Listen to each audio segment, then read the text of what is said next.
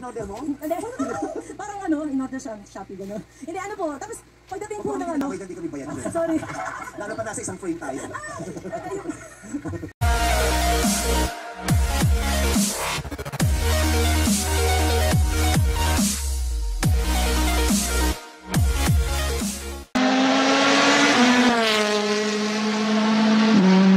So ito na nga mga papi, dumating na yung order natin kay ah, Salamat Bossing. So ito, ah, gamit natin para sa chest, ah, ay na I mean sa shoulder mount ng ating ah, ah, camera. Ito sobrang mura pero hindi siya cheap na tipong isang gamit lang tapon, hindi siya disposable. Talagang ano, ah, ni-review ko muna bago ko siya binili at in-order online. Siyempre mahirap na ah, mahirap mag-order online eh. Minsan talagang sablay yung dumarating. Pero ito, katakot-takot na review. Ayun lang. Ah, akala ko tama. So yun. Ah, kumpara dun sa isang accessories ng ginagamit kong camera na alam nyo na yun, yung branded na camera. Sobrang mahal yung ganito. As in, naabot ka ng siguro 2,000 to 3,000 tong shoulder mount na to. Ito, nabili ko lang ng wala pang 200 pesos mga papi. Same purpose. Ang ganda ng quality niya. Mukhang tatagal siya mga papi. Hindi siya parang isang ano lang, isang gamit. Ayan. Ito, shoulder mount to mga papi. Yan.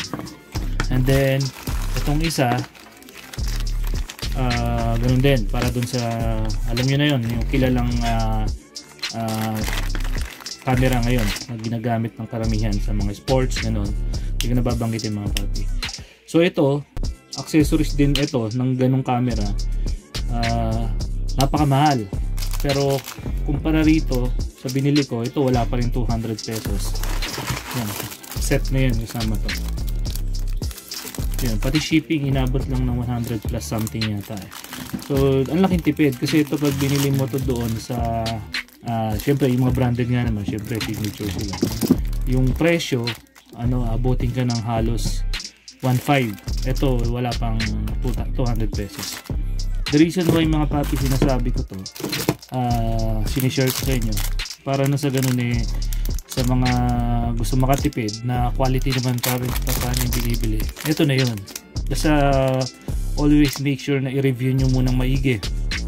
At ah, ah, review nyo maigi yung mga binibili ninyo tapos ah, legit check nyo yung mga seller para sa ganun hindi tayo may scam kasi may mga times na scam na rin tayo mga papi so guilty tayo doon na na scam din tayo excuse me and then mga papi ah, may binili rin tayong toolbox na okay din kaya ano ah, lahat siya may kita ninyo mamaya at ah, yun, atong mga sinishare ko para tayo makatipid mga papi, hindi para gumastos ng mahal. Kumbaga, doon tayo sa may ah, saktong quality brand na mura. Budget meal eh, nga, na mura. Isa nating ah, gamit para sa paggawa ng video para may hatid ng maayos ang video sa inyo mga papi. Ito yung ah, GoPro selfie stick. Ito medyo may ah, presyo talaga. Kaya napaisip akong mag budget meal na lang mga papi. Yan. So na-extend ito mga papi. Na-extend yan hanggang natin ah. Na-extend to ng napakahaba. Yan, o. Extend. Tapos ito rin mga papi. Na-extend mo to.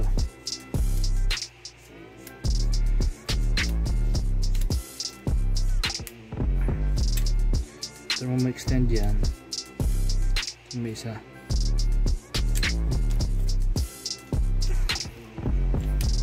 Ayan, papi oh. So siguro halos 1 meter. Almost 1 meter ang extension niya. So yan mga papi. Medyo mataas ang presyo. Ayan oh, nasa around 2,300 ito mga papi. Okay mga papi. So review natin to. Kung okay ba gamitin natin sa next uh, vlog natin ito yung presyo niyan. Uh, 230 dirham sa Abu Dhabi. At uh, pero okay lang kasi ito ay na-arbor lang naman. Kaya may mabait akong bayaw na nagpapa-arbor ito naman ito yung haba niya mga papi ang maximum length niya is ano 54 ba to? 54 inches tapos yung uh, ano niya, yung fixed length, length daw niya is, ayan, ano ba to? Ayan, basta yan, ganyan mga papi. Yun. So, ibig sabihin, kung binili ko to at nandito tayo sa Pilipinas, medyo madugo. Kaya nga, humahanap tayo mga papi ng ah, ah, brand na halos kaparehas naman ng quality na hindi ganun kamahal. Imagine, ito na nga mga papi. Naikabit ko na rito. So, ito, tinignan ko to sa online din na yung ah, talagang branded. Maabot siya ng halos 2,000 rin mga papi. So, ito, 100 plus lang pati shipping na. Kinabit ko na rin sa pole ko, papi. Ayan. So, yan mga papi. Ah, the reason why sinishare ko ito mga papi para din sa ah, mga planong bumili. Kaso medyo namamahalan sila. At ah, yun nga mag-search lang kayo online. Always check the review tsaka yung legit uh, legitimacy ng seller. Para nang sa ganun di tayo mapogos mga papi. So yun mga papi. Ah, sabi nga may kasabihan nga na lagi tayong ah, kung bibili tayo dapat smart buy wise buy para tayo maging wise guy mga papi. So, sa ulitin mga papi, laging tatanda po tayo mag mga papi. Salamat!